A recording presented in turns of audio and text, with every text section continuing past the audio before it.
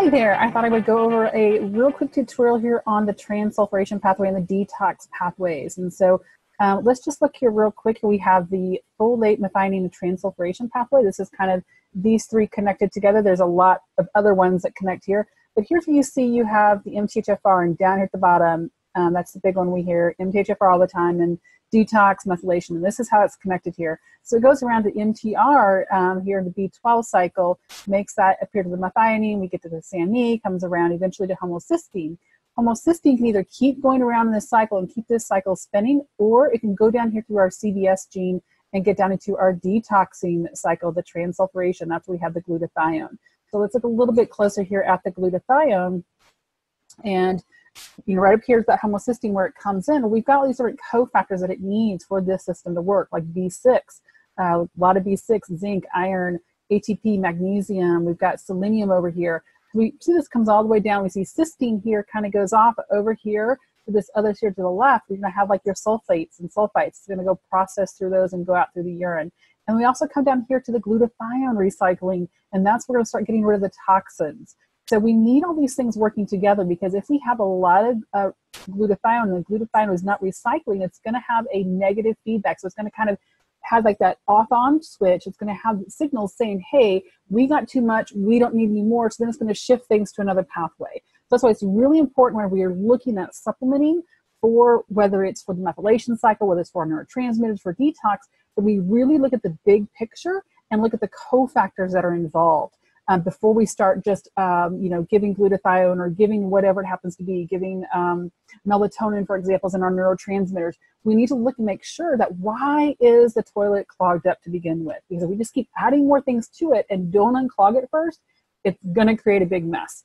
Um, and especially whenever we are talking about our detoxing, because that's where we can start having now the toxins recycling. We've got several different phases in our uh, liver, the detox, the stages in that. And so if they, things get stuck, they basically get kind of broken apart and they're very, very toxin, toxic in this middle stage. So we've got to get them all the way through that detox process. And it's that second last part there in our liver where we have the, uh, the, the um, glutathione is taking things out. So we really need that part of our liver phase uh, working.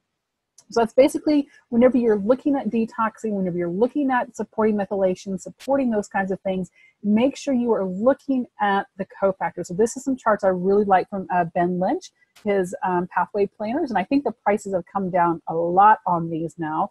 Um, so it's really, really handy to have whether you're a practitioner or whether you're not, whether you're just a person who's really after to take charge of your health.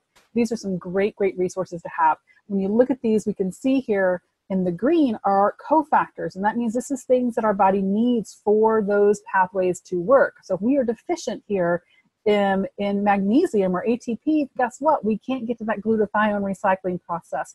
If we are deficient in B6, we're going to have a lot more difficulty even getting this whole system to work to begin with. Uh, magnesium, I mean, we're going to see zinc, magnesium, selenium, molybdenum, um, copper. I mean, all these different, you know, nutrients that we hear about, all these micronutrients that we hear about are vitamins and minerals, this is why they are so important because this is what keeps these cycles running. This is the fuel that our genes need for the these different pathways for these enzymes to work. Um, so just I uh, hope this was helpful. If you guys have any questions, feel free to reach out to me. Um, I do have a genetic um, package you guys can look into. I just uh, started offering that where we're going to look at the genes, put our genes into context. And the resource that I'm using uses 15,000 gen- genetic SNPs that they report on. So we're going to have pretty much all the SNPs that we can possibly think of um, to look at and see where do these things fit into the bigger equation of that. Where a lot of these more common um, genetic companies that you're going to hear about all the time, they don't report all the really the pertinent SNPs. They're leaving out a lot of the SNPs that we really need to know. Hey, what's going on here in some of these cycles? On top of that, they sell it to pharmaceutical companies. So this is very confidential um, and has a, a really great amount of information. But I just want you guys to know that whenever you do get back any genetic reports, whether it's me or somebody else, please, please, please put those things into context. Just because you have a SNP, don't go out supplementing because of that. Just because you have a, a CBS SNP, don't run out and go get a whole bunch of B6.